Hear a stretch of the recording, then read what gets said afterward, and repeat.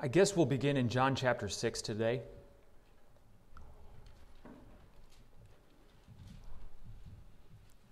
There's a few things that we need to see.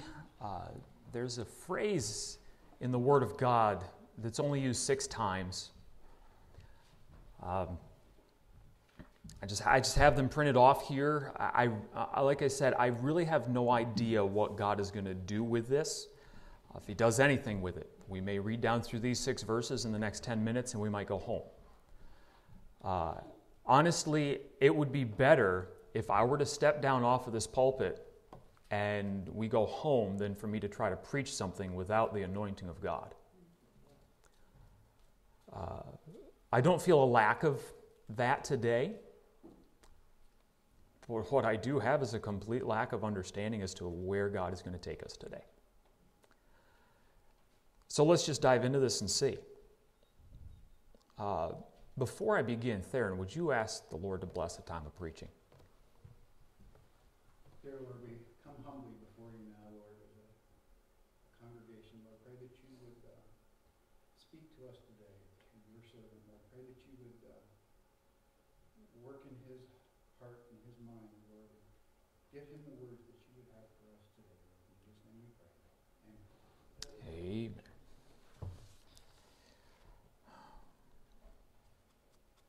Hmm. I, uh, I'll, I'll, give a little background as to how, why I came upon this, this uh, phrase. I was in John 10, just going through everything of, uh, that we didn't get through last week and uh, all, of, all of these different things. I, spoke on how Jesus said, I'll give unto them eternal life. Um, and that life is in Jesus Christ. It is that spirit of life in Christ Jesus. It's that same spirit that He commended unto the hands of the Father. It's that same spirit that the Father gave back to Him when He resurrected, and that is what actually that's what made Him rise from the dead. Uh, and we went through all of those things, and then it, it continues and says, "They shall never perish."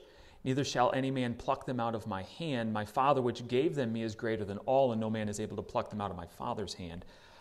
Uh, that, that drove me over here to John chapter 6. And I fell on this thing. There was other things in John 6 that I was looking at, and uh, as the Lord quite often does, as it says that the, the Comforter, when he has come, he shall guide you into all truth. Um, John 14 also tells us that the Comforter is the Holy Ghost. Okay, so as the Holy Ghost is guiding you through all truth, and uh, sanctify them through thy truth, thy word is truth. The only truth you're ever going to find on this planet is in this book that's sitting in your lap. That's it. It's the only place you're going to find it. And as, as he guides us through the Word of God, he speaks to our hearts and he, and he brings things out to us. I've spoken with a couple of you just recently uh, one young man in here uh, texted me the other night, and we were going back and forth, and he, he mentioned how the Lord had showed him this thing, and then this part over here caught his eye, and that brought this thing to mind. And so he turned over there and looked, and went here and went there, and, and I said, Glory to God, that's the Holy Ghost. That's God working in a man.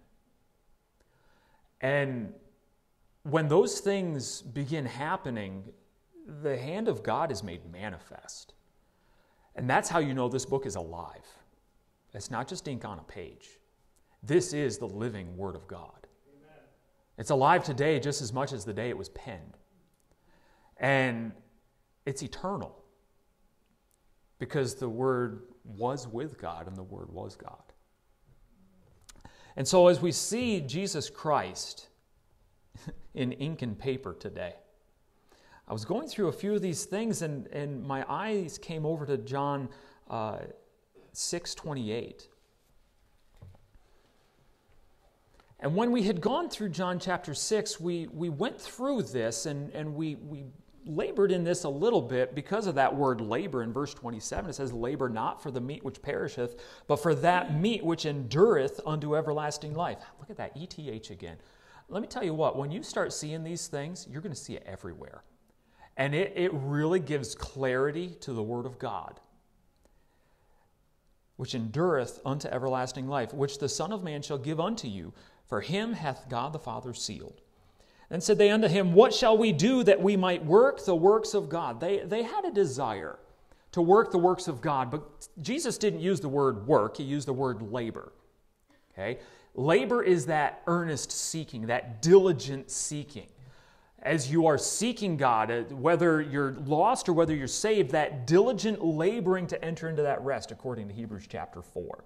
Uh, there are so many times, sadly, that in fundamental churches, good Bible preaching fundamental churches, where we put such an emphasis on the idea that it's not of works, it's not of works, it's not of works, we take the labor right out of it. Now, it's not of works, lest any man should boast. It's, it's uh, not by works of righteousness which we have done, but according to his mercy hath he saved us. All our righteousness are filthy rags. All right, and what those filthy rags are, it's those cloths that were used to wipe a leper's body, to get rid of that pus and that infection and that death and decay. That's what that righteousness is. And that righteousness is before we're saved and after we're saved. Anything that we ourselves produce is a filthy rag. The only thing good in us is Jesus Christ. You say, well, what about the lost person? Well, John chapter 1 tells us this. He was not that light, but was sent to bear witness of that light. That is the true light which lighteth every man that cometh into the world. The light of Jesus Christ, in the candle of the Lord, the Spirit of man is the candle of the Lord, lighting the inwardmost parts of the belly. Okay? It's showing you who you are on the inside. That light of Jesus Christ, according to your Bible, is in every man, woman, and child the moment they're born. It's in there. That's why Romans chapter 1 says that they're without excuse. That's why there isn't a single atheist today who is a true atheist. They're just angry at God. That's what it is. It isn't that they don't believe in God, they've con- convinced themselves that there is no God, and they've chosen not to believe what God wrote. They've chosen not to believe what God has put on them on the inward parts. You wonder why there's so much depression, so much pain, so much.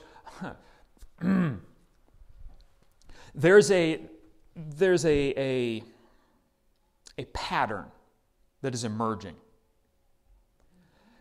The pattern in this world is that well, just as we looked in, in 2 Peter chapter 2, that there are those that promise liberty, false teachers. Now, whether it's a false teacher of doctrine, whether it's a false teacher of worldly philosophy, whatever it is, they are teaching falsely because they are not following the Word of God.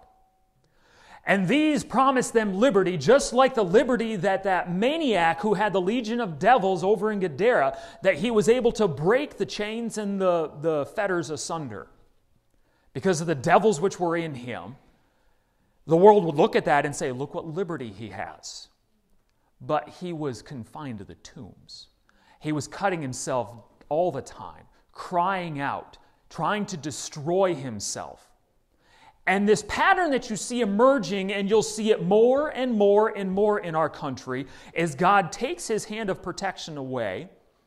As he which letteth lets not quite as much. And again, that word let there, he which letteth will let until he be taken out of the way. That letting isn't an allowing, that letting is in holding back. Okay? There's two definitions of the word let used in your King James Bible. One is to allow. Let every man which nameth the name of Christ depart from iniquity. God lets you do that. That's a mercy and a grace from God. However, he that letteth will let until he be taken out of the way. Now, what is he holding back? Well, we've studied that out just recently. He's holding back that spirit of Antichrist, he's holding back that, uh, uh, that reprobate mind. Okay? Uh, don't you know you're in Christ except you be reprobates? You're either in Christ or you're a reprobate. And the only way a lost person is not given over to that reprobate mind is that the Holy Ghost is holding that thing back, like the walls of a dam. But when that dam is removed, that town is inundated with water and destroyed. And that's what's happening right now in our country. The Holy Ghost is holding back that spirit of Antichrist. That Holy Ghost is holding back that reprobate mind. However, according to Romans chapter 1, a national heart of a people given over to sodomy, which is what we are seeing in America right now. That is God's punishment on a people for their idolatry. You read down through Romans chapter 1. Let's go there. We'll go there. Uh, Romans chapter 1.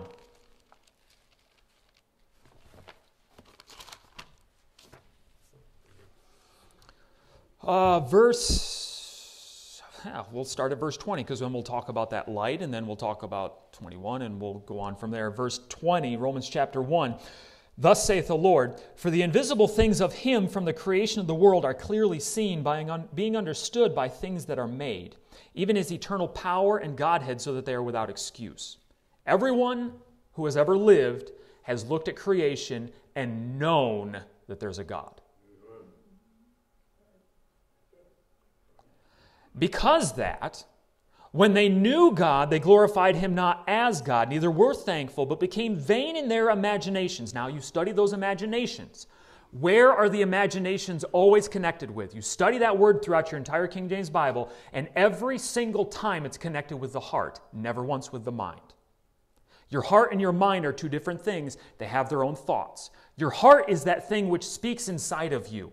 Hannah prayed in her heart. That's where you pray from. It's where you sing in your heart, making melody unto the Lord. All right? It's the part of you on the inside that, that, that speaks. Your mind is, is that analytical thinking part, all right? It's processing all of this and it decides what to make your body do. You follow your carnal mind, you're going to be living a carnal life. You follow the mind of Christ, you're going to be living a Christ honoring life. Okay? Those are your two options. Your spirit directs your mind to pick one or the other. You have an unclean spirit about you, you're going to be going to unclean things. You have the spirit of Christ and you the mind of Christ, you're going to be living for Christ. All right? It's as simple as that. You wonder why you don't have any victory in your life? It's because your spirit is unclean. It's because you haven't been washed with the water by the word. That's why it's so easy to live Sunday afternoon, or even during this half hour that I'm going to be preaching. It's easy to live for God. It's easy to think on spiritual things. It's easy to follow along in the Word of God and to find these things if you'll allow God to do that.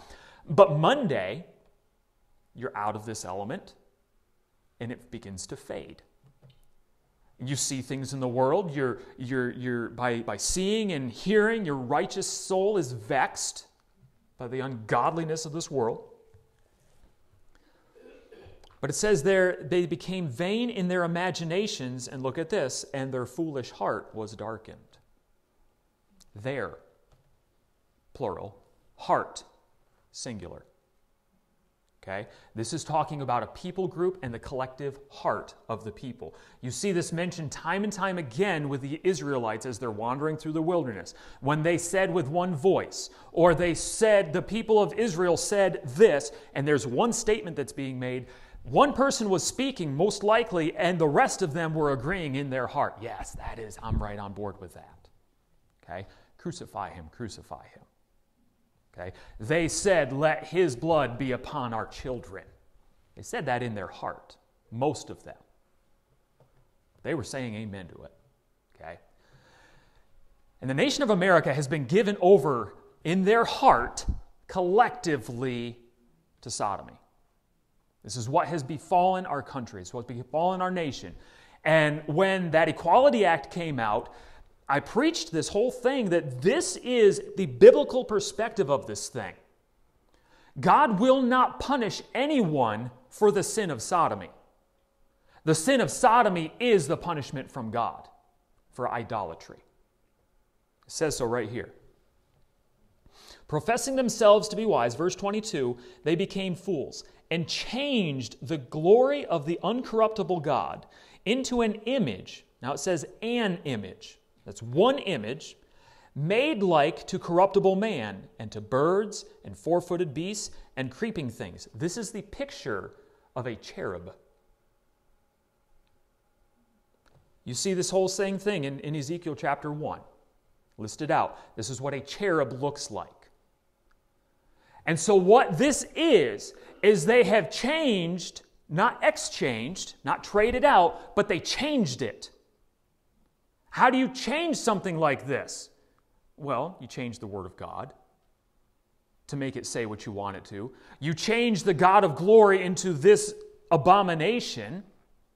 And it's not an abomination necessarily in the sense that it isn't, it isn't what God designed, because those cherubs are God's design.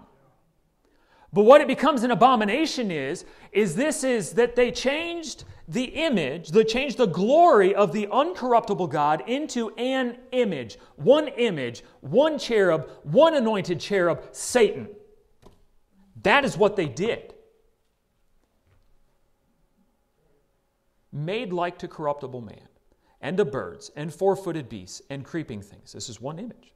Wherefore, here we're about to see why. Okay? Wherefore, God also gave them up to uncleanness. Now, who gave them up to uncleanness? God. Through the lusts of their own hearts. Oh, there's an interesting thing. Your lust is contained in your heart. That's where it is at. That's where, that's where it originates. It's the lust of your heart. Okay? It, your heart is the, the, the seat of your desires. Everything that you desire in this world is encompassed in your heart. The thoughts and the imaginations of your heart are only wicked continually. Okay? Uh, when Noah and everybody was there at the end of the flood, and God remembered Noah and looked down on him and said, I'll never again uh, destroy the earth like this because the imaginations of their heart are evil from their youth. Okay? Now, what is their youth? Well, at 12, Jesus was still called a child. Okay? So, according to the Word of God, I guess youth is after that. Wherefore, God also gave them up to uncleanness through the lust of their own hearts to dishonor their own bodies between themselves. Okay? It is a dishonor. Fornication is a dishonor. Adultery is a dishonor. Sodomy is a dishonor to your own body. Now, the marriage bed is honorable before the Lord. It's a beautiful thing. It's undefiled before God. Used to be a priest couldn't come at his wife for three days before he performed his duties. Now it is a husband and wife can be together in that way, and they can immediately, during the act, go to God in prayer. That's how holy of a thing that is, because God's in the middle of it. Glory to God for that. But it is a dishonor. Fornication, as it says in 1 Corinthians 6, fornication is the only sin that you commit against your own flesh. It's against your own body that you're committing this thing. Adultery is the only sin in the Word of God that is mentioned that you commit against your own soul. Why? Because that is supposed to be the picture of the intimacy between Christ and His church. Oh, but what God ordains, Satan corrupts. And now we are where we're at. But it says, who changed, verse 25, who changed the truth of God into a lie now, how would they change the truth of God into a lie to change the truth of God? Where is the truth of God contained? In the Bible. And so, what they have done is they have either excused it away, retranslated it, made it into this abomination that somewhat sort of looks like the Bible, but oh, you've got to have this one and this one and this one and this one and this one, or this commentary and this Bible study help and this lexicon and, and this dictionary and all of. You got to have all of these things in order to understand the Word of God.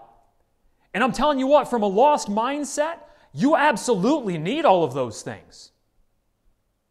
But you know what a Christian needs to understand that Bible? God. Period. This Bible, the Holy Ghost, plus nothing. You say, oh, well, it's, it's just so hard to understand. Okay, yeah, I get that. God didn't intend it to be easy to understand. Why do you think he spoke in parables? Why do you think the entirety of the Old Testament is written in mysterious form? It was to hide it from the prudent and from the wise, so that he could reveal it unto babes. So that the kingdom of God could be within you. Listen, when we looked at, at, at Pilate, we looked at Pilate. Where, where did we look at Pilate? Where was Pilate? John chapter 19. Let's go to John chapter 19 real quick. Keep your place in Romans. We're not done there yet, I don't think. John 19.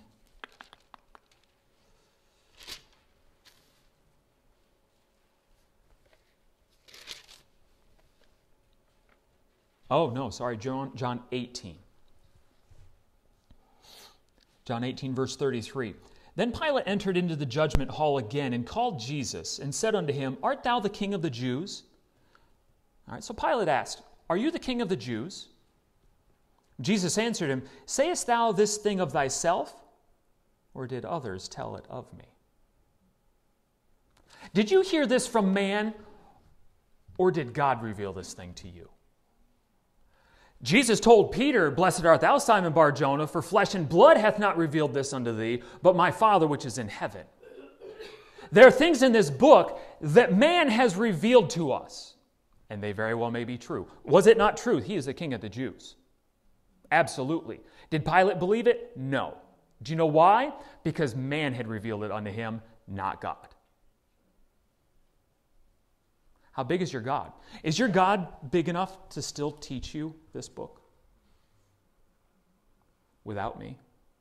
Oh, yeah, definitely without me. But is he, is he big enough to teach you this book alone? You know what, what arrested my attention, and this was probably maybe around 2016 ish. I was reading about the life of David Livingstone, and I don't have all the details hammered down like I used to in this thing, but as David Livingstone was, was working his way into the heart of Africa, hundreds and hundreds and hundreds of miles into the jungles, and he was getting way, way, way back in there, he started out with a whole entourage. And he had all sorts of materials. He had a whole library with him. He had all these other things. Do you know what he had by the time he finally got to where he was going? His Bible in his pants. That's it. And God kind of smote my heart with that, and because I had I had all of these, this wonderful library that had been given to me, and uh, I had all these other study helps, and I had this Bible software, and I had that Bible software, and I had this thing and that thing, and, and all of this, and I had all these resources, and I had the internet, and I had all these commentaries. I mean, I had everything. And I studied those stuff. I, I studied it. I mean, I was diligent in my studying. And God kind of smote my heart and said, You know, if, if Livingstone could do it, why can't you? And it took another three years before I actually began believing that. But I trust my Bible, every word of it now. And I've got to tell you, I've learned more since 2019 than I did from 1985 all the way up till then. 1985 is when I was born, by the way. Okay. My age bewrayeth me. But Pilate had heard this of of other people. Flesh and blood had revealed it. God hadn't revealed it to him. That's why Jesus, and again, remembering everything in John, every conversation Jesus has is he's, he's pointing a finger on their unbelief. Pilate came in there with authority. He came in there with power. He came in there with this thing of being able to, to uh, execute or to save. Jesus says, Thou couldst have no power at all except, uh, against me except it were given thee from above. And he walks in there and says, Are you the king of the Jews? And Jesus, just like our Lord is, says, Who told you this?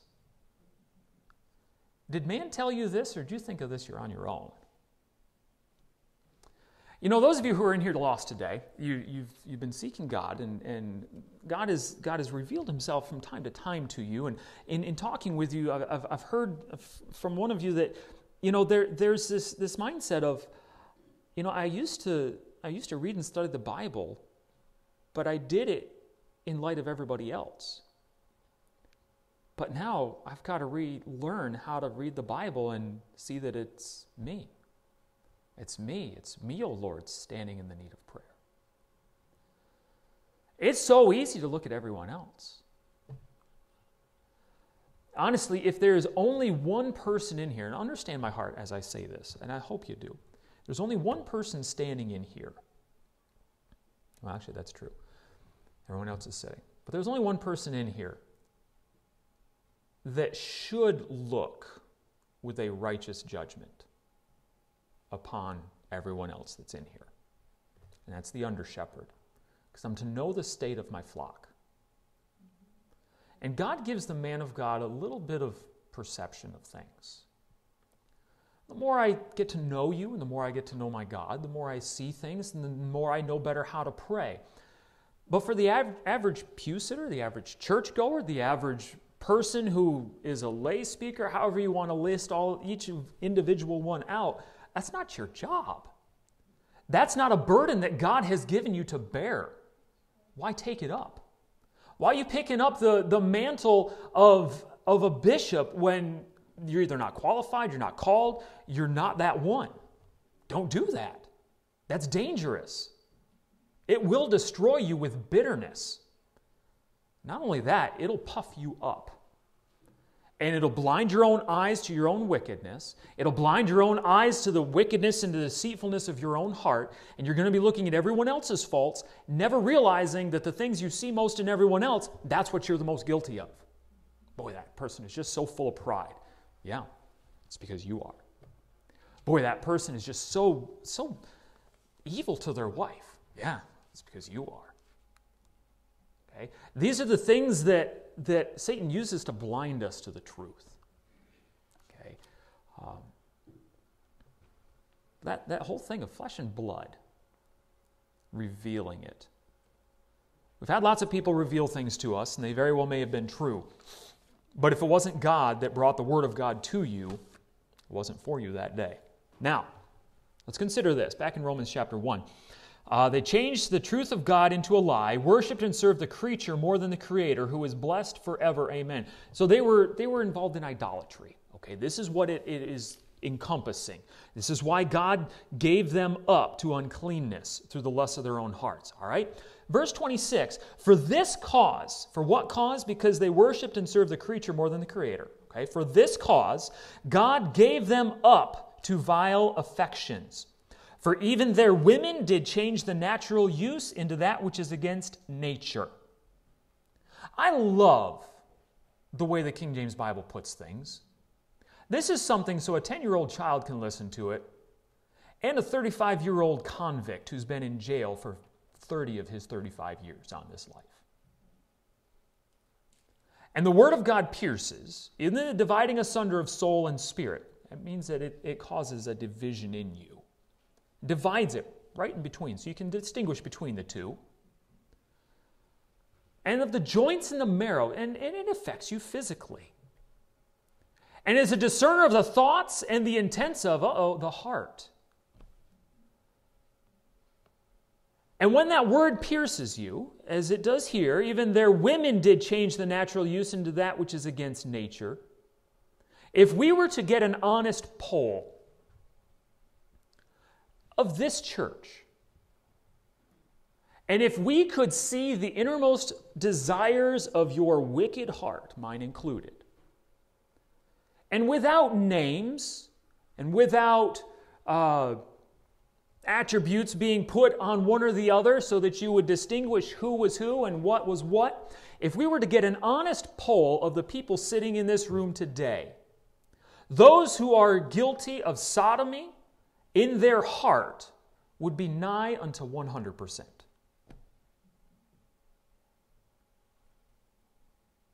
There are people that I know personally that have crossed those boundaries.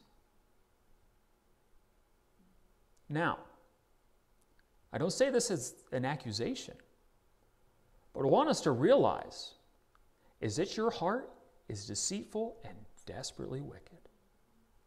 And it says it's that above all things. You can't know it, but God can. And God does. God is the only one that knows the innermost thoughts of your heart. And Jesus is the only one who has ever walked this earth that knew the thoughts of the heart of people. You know, honestly, if you want to, if you want to have a little more ammunition against some cults, take that concept of Jesus perceiving the thoughts of their heart, answering them before they even articulated it with their lips, and then connect it there in the Old Testament where it says, God, Lord, thou alone knowest the thoughts of the heart. For this cause, God gave them up to vile affections. For even their women did change the natural use into that which is against nature. And likewise also the men, leaving the natural use of the woman, burned in their lust one toward another. Okay? It doesn't take much imagination to understand what's going on. Men with men working that which is unseemly, and receiving in themselves that recompense of their error, which was meet. Now, what was their error? Was it the error of sodomy? No, it was the error of idolatry. And this is where America is at right now. And going back to where we started, the more and more that America is given over to this thing, we're going to begin seeing like what things like what the kids saw over in that school project. That devilish activity. You're going to be seeing it more and more and more, manifested more and more and more. I'm not saying this to scare you. I'm not saying this to be a doom and gloom kind of fella. I'm telling you this is what is coming. Because it says the evil men and seducers will wax worse and worse, deceiving and being deceived. Shall, sorry, shall, not will. Shall. It's an absolute, it's going to happen. In those last times, last days, perilous times. Because they're lovers of their own selves, boasters, blasphemers, lovers of pleasures more than lovers of God. And then the craziest thing about that is it says, having a form of godliness, but denying the power thereof from such turn away. That's in the church. So, by way of introduction, John chapter 6.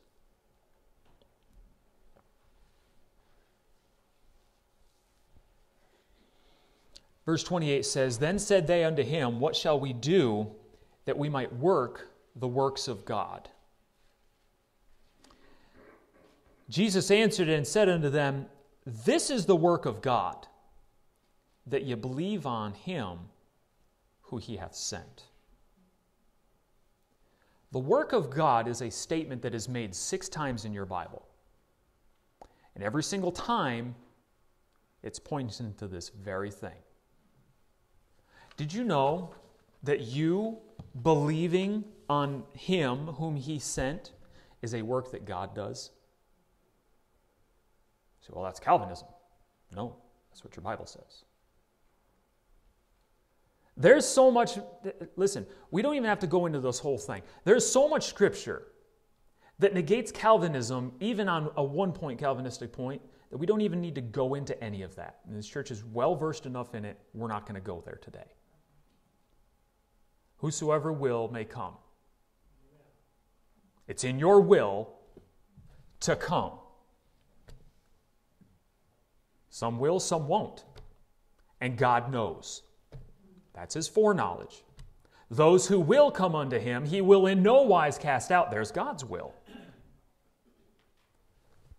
And those that come unto him and believe on the Lord Jesus Christ shall be saved. If thou believest with all thine heart, thou shalt be saved. Believe what? Well, believe that Christ died and was buried according to the Scriptures and rose again according to the Scriptures. What Scriptures? Those Old Testament Scriptures. Basically, it's as simple as this believe what God wrote about Himself, and you'll be saved. That's what it boils down to. But this belief, you remember, he that letteth will let until he be taken out of the way. Understanding that your whole heart is sick and the, or the whole head is sick and the whole heart faint. And that your whole flesh, your whole body, is, is full of putrefying sores from the crown of your head to the bottom of your foot. And that there is none righteous, no, not one. There is none that worketh himself up to seek after God. There is none that are looking after him. Many times, twice at least I know, in Psalms, God says, He looked down out of heaven to see if there were any that sought after God, and He found none. So, how is it that a person can seek after God when, when God says nobody is seeking Him? It's because He draws you. Well, how do I know if God is drawing me? You're sitting under the preaching of the Word of God today, aren't you? That means He's drawing you, or else you wouldn't be here. Now, I believe there are some that He's drawing, that in their will they are resisting Him, and that is a deadly dangerous place to be because He will give you over to that reprobate mind. You resist and resist and resist. There is a sin unto death. The Bible says that. How many years did God give Israel before he gave them over into captivity? 490, which just happens to be 70 times 7, if you believe your Bible. Now, this is the work of God, that you believe on him whom he hath sent. Now, how is that even possible? How does that work? Turn to Deuteronomy chapter 31, please.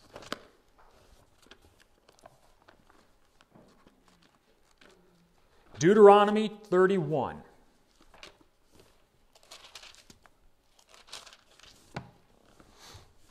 This the Lord showed me just as we were sitting in, in uh, Sunday school this morning. Deuteronomy 31, starting at verse 11. Says, When all Israel is come to appear before the Lord thy God in the place which he shall choose, thou shalt read this law before all Israel in their hearing. Gather the people together, men and women and children, and thy stranger that is within thy gates, that they may hear, and that they may learn, and fear the Lord your God, and observe to do all the words of this law, and that their children, which have not known anything, may hear and learn to fear the Lord your God. You remember there is foolishness bound up in the heart of a child, but the rod of correction driveth it far from him. The problem that we are having today is children are passing from their childhood, where foolishness is bound up in their heart. They're passing into their youth, where that foolishness is now sealed in their heart. And it was never driven from them. That's why we have children telling parents what to do. That's why we have children mocking adults and telling adults what to do. You know what happened to those children that mocked Elijah? Go up, thou bald head, go up, thou bald head. The she bears came out and tore them. Every single one of them. You say, well, that's harsh. No, that's what God considers righteous and just. And children ought to start to learn how to speak to adults, our children included. The children that attend this church need to start to learn how to speak to adults. I got one amen on that because it hurts. I understand. But it's the truth. Now, now I don't say that out of anger. I say that with a broken heart because I know how much it hurts God's heart. If they don't hear it here, where are they going to hear it? That they may hear and that they may learn and fear the Lord your God and observe all the, uh, to do all the words of the law, and that their children, which have not known anything, may hear and learn to fear the Lord your God, as long as you live in the land whither you go over to, to Jordan to possess it. Now, what does this have to do with the work of God? Well, we needed to look at how the law of God brings the fear of God. The reason that there is no fear of God before their eyes is because there is no law of God before their eyes. And where there is no law, there is no transgression. And they are ignorant. Now, ignorance isn't an excuse, because there's none with excuse. We already saw that in Romans. I love how the Lord stitched that together. Let's go to Exodus 32. With this, with this chapter in mind, Exodus 32.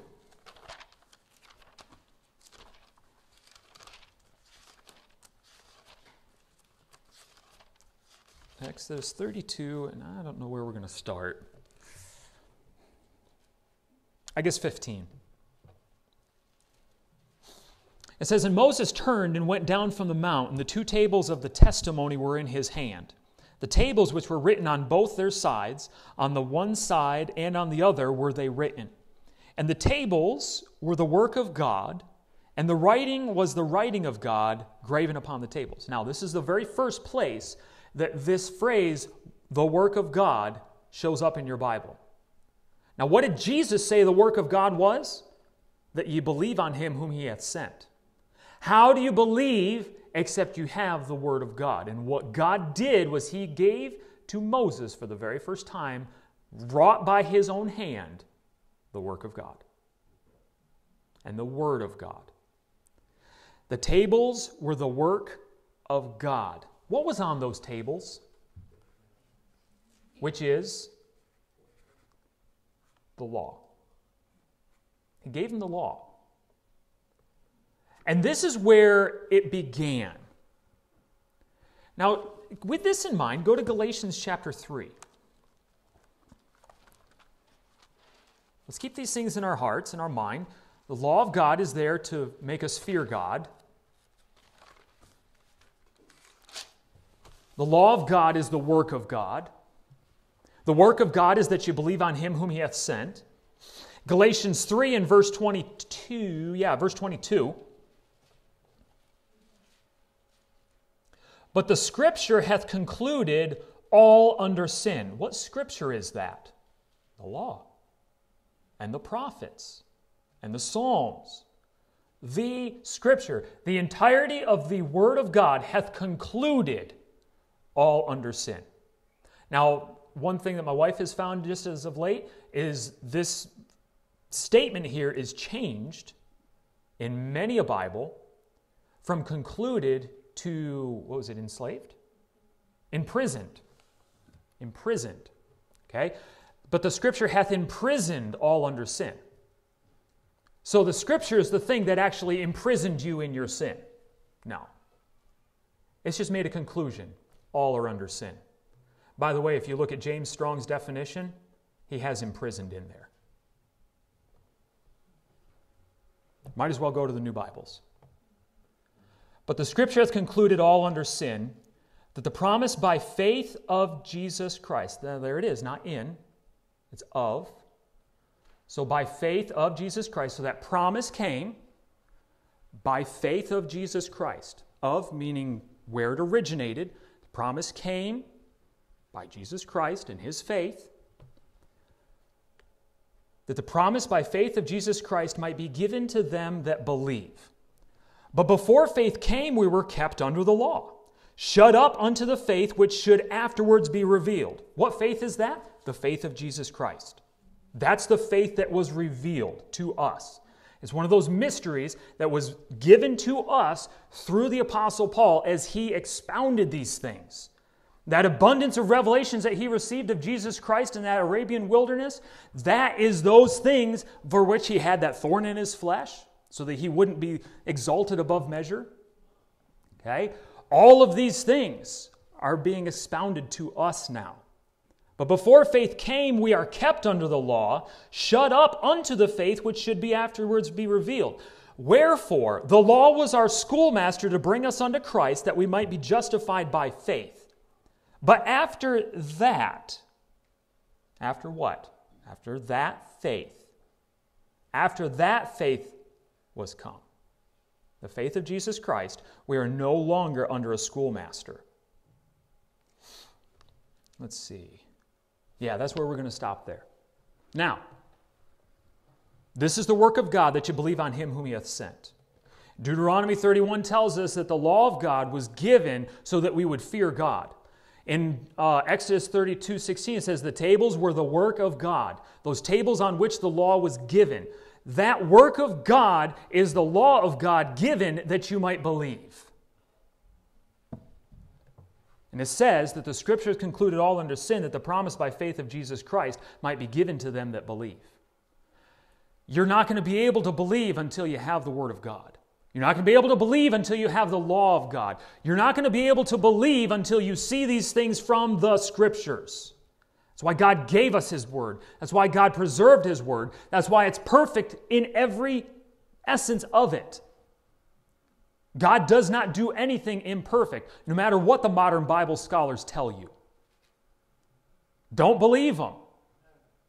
They're promising you liberty by going to all these things. And the liberty in this mindset is, oh, God gave it imperfect on purpose. As we read in that, that Logos magazine, what's it called? Bible study, put out by Logos Software. It's the man that originated that Bible software which was originally from his lexicon, was a pedophile and was involved in spiritism. And this is where we're going to get our deeper knowledge of the Word of God.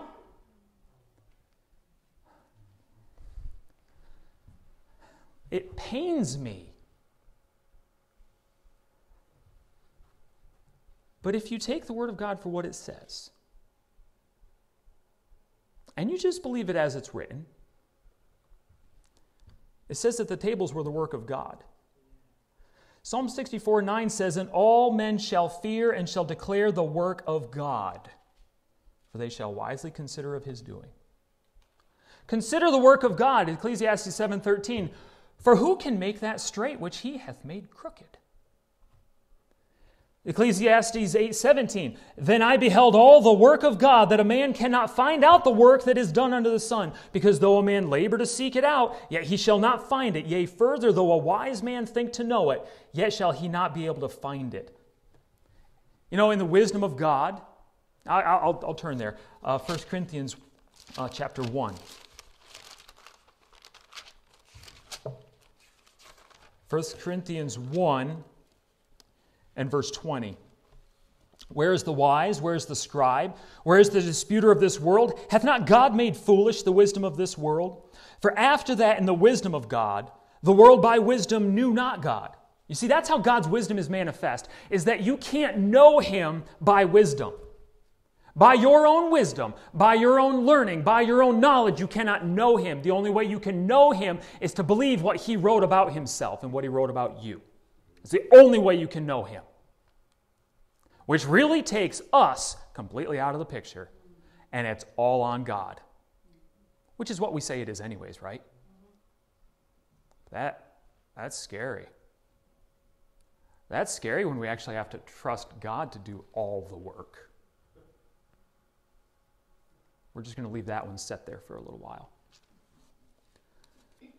The next place this is used is in John 6 29. Jesus answered and said to them, This is the work of God that you believe on him who he hath sent. Now, up until this point, that belief is the work of God, and it's shown in the law, and it's shown that it doesn't come by wisdom, and it's shown that it only comes through the word of God. And that whole thing is so that you would fear God and believe. That's the work of God. He works that thing in you. It is your choice to believe or to stand in unbelief, but He gives you every single thing you need to believe. But what about the Christian? What about once you've believed? What's the work of God then? Romans 14. We're actually going to close here. Romans chapter 14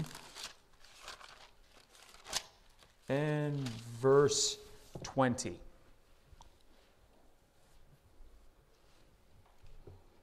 Now, a little, little background Romans 14 and Acts chapter 15 are dealing with this whole thing of uh, meat being offered to idols and circumcision and, and all of this other stuff. Okay, this is speaking of the liberty in Christ that we have once we've been made free. Okay, and it says this uh, in Romans 14, let's start at verse 19. Yeah, 19. Let us therefore follow after the things which make for peace and things wherewith one may edify another. Boy, if we would just follow that, our Christian life would be a whole lot easier with one another. Do you know that the church is a building? Did you know that? I mean, we've heard it preached so many times that the church isn't a building, it's the people. Yeah, but the Word of God says the church is the building. And that, that we are the building of God, fitly joined together. And a building is an edifice, it's a built up structure. And never once is the church told to encourage one another. Never one time. You're not going to find the word encourage in your New Testament anywhere. To To encourage is to place courage in somebody. What we're to do is exhort and edify. An exhortation is to correct or to admonish and to bring to a point where you are, you are strengthening them and you are making it so that they can go forward and do better. Many times, uh, preaching is just a simple exhortation. Hey, this is what the Word of God says. Let's go ahead and start doing that. That's an exhortation. To edify is to build up. And we're told to, we're to build up one another here. It says, the things wherewith one may edify another. Look at this. It says, For meat, destroy not the work of God. How about that? Now, what are we equating with the work of God? What does the Bible define the work of God as? This is the work of God, and then here's the definition that you believe on him who he hath sent. Now, for meat, what is that saying? I can eat meat and you can't. I can eat this meat offered unto idols, but this person over here used to offer those things unto idols, and he can't eat those because for him it's sin. For me, that's never a problem in my life. I can eat that stuff and it doesn't bother me at all. It is, has no bearing on my Christian walk whatsoever. However, that one over there must stay away from it. All right? Those of you who have dealt with different perversions in your life or different uh, addictions in your life or however it may lay out, there are things you know you cannot do because you know exactly where it will lead you. And there are others, it doesn't lead them there. That's never been an issue for them. Okay? Fill in the blanks however you need to. And what this is showing us is for this meat's sake, destroy not the work of God. Don't destroy the belief on the Lord Jesus Christ in this person. Not saying they're going to lose their salvation, but you can hurt somebody's belief. You can make it so that their faith is shaken. You can make it in your own life so that they don't see. Listen, there's a lot of false teachers in this world. And there's a lot of false teaching that goes against that book exactly as it's written. And there's a lot of things that subvert the faith of many. And there's things that place bitterness in people. And there's things that, that make it so that they can't even see the work of God. They can't even see things because your life goes in stark contrast to what they know the Word of God says.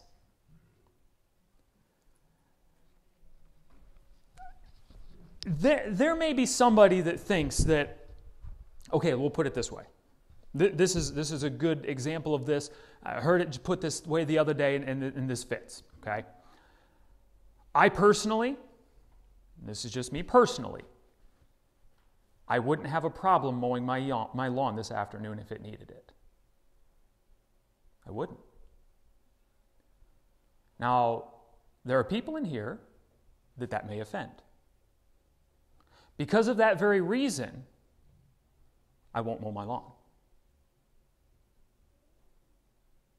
There's nothing in there that says you can't labor on the Sabbath. If we really want to dig in and get deep, the Sabbath is on Saturday. The Sabbath for the Christian ought to be every single day. They met every single day of the week and opened the Word of God and exhorted out of the Word of God. They did bring their, their first fruits into the storehouse the first day of the week towards the end of the book of Acts. But listen, if we want to if we want to pattern our church after that, we should be meeting here every single day. Which we're really kind of close to that now. We got Sunday uh, twice, we got Monday, we got Wednesday, we got Thursday. All right? So there's three days where we're not meeting here. We do have the recording so people can hear the preaching of the Word of God. It ought to be so that anybody at any time can come in these doors and hear preaching. Honestly, you come to me, you want some preaching, I'll preach. You know, we'll get the Word of God going. Okay? So, what is the Sabbath? It was a time for the people of, of Israel to remember. Remember the Sabbath day to keep it holy. That remembering is their exodus up out of Egypt, the wanderings through the wilderness, and the passing over into the promised land. That was what that was to picture, is that, that whole process, specifically the exodus up out of Egypt, what God brought them out of. This table here says, This do in remembrance of me. That's our Sabbath. As often as you do it, do it in remembrance of me. Remember what Jesus took you out of. Remember what you had in that old life in Egypt. Remember all that wickedness, the pain, the suffering, the anguish, the filthiness of that sin. And remember that with a clear conscience, you can praise Almighty God lifting up holy hands, hands that are clean, from a heart that is purified by the Word of God. And you can bring these things before God. But listen, if it's going to offend somebody in here that I mow my lawn on Sunday, I'm not going to do it. Why? I got other times that I can do it. Okay? It's not an issue, it's not a problem. You're going to go ahead and tell me that you keep Sunday specifically only for the Word of God? The moment you got up in the morning, you were singing a hymn, and then you got into the Word of God and you read it and you meditated on it and you prayed. And while you were getting ready to come to church, you were praying and you were praising God and singing all these hymns. Pray that this is what you do. And then you got into that, that car and, and you were put on some preaching and you were, your, your soul is, is prepared and you've been seeking the Lord and you've been laying your heart out before Him and, and you've been laying all of these things. You come into the house of God and you sing the praises and the songs of Zion and then you listen to the preaching of the Word of God and these things are working effectually in you. And by the time you leave, you've, you've met with God. You know you've met with God. On the way home, you're talking about the Word of God and you're talking about what God has shown you with your family and then you get back into the Word. As soon as you walk in that door, door and, and you're helping your wife get lunch and, and you're talking about the Word of God then, and then you sit down at, at the lunch table and you're talking about the Word of God, and, and then you open up the Bible and you start reading together as a family and you sing a hymn together. This is what you do on Sunday? Anyone want to be in here honest and raise your hand and say that's what you do all day on Sunday? That your thoughts are fully encompassed around the Word of God? then you're a hypocrite if you don't think I should mow my lawn. By the way, I always put in preaching when I mow the lawn. That's why I love mowing the lawn. Um, I have sound canceling earbuds, so it helps keep my ears because I'm starting to go deaf. But, okay, examine ourselves, lest we also be tempted. Come on, let's edify one another. Let's not bite and devour. We're eating each other up. We're eating each other alive. You really think God's going to bless that? Hogwash. Mr. Miller, I found a bar of soap. It was body soap at the Rusty Rooster up in Portville. You know what it's called? Yes. I wanted to get that thing so bad for you, but I didn't, and we just spilled the beans. All right. Well, I think that's where we're going to land. I pray the Lord used this, specifically His Word. I, I, I trust I have the mind of Christ. I have this stark reminder up here, therefore let thy words be few. I just pray that God works this effectually in us. By the way, if God pointed his finger at something in you today, deal with that thing right now. Don't walk out those doors without dealing with it. Now, it very well may be God has turned up the pressure. Don't run to this altar just to get that pressure off. He may want you to sit under that pressure cooker for another couple hours, or maybe a couple of days, or maybe another couple more weeks. You know, that's how you can really tell if, if God moved into service, how long the fruit remains. Boy, we really met with God in that service. Yeah, Tuesday. Do you remember what happened on Sunday? How many, how many times does that happen? So, Let's close in prayer. Father, thank you for this morning. Lord, we thank you for your word, and uh, God, we look forward to the fruit that will remain from it. God, as you work those works in us, the work of God that we might believe on the Lord Jesus Christ. Well, Father, I pray that you would guard us against the wicked one, guard us against that, that uh, carnal mind which uh, so easily overtakes us. It's at enmity with you, Lord, and uh, God, we eschew it, we hate it. But Father, I pray that you would help us as we look unto Jesus, the author and finisher of our faith. Lord, help us to walk in him and to know him, the power of his resurrection, the fellowship of his sufferings, being made conformable even unto his death. O God, work these things in us as you do oftentimes in the ways of man. We look for you to move now in the name of the Lord Jesus Christ. Amen.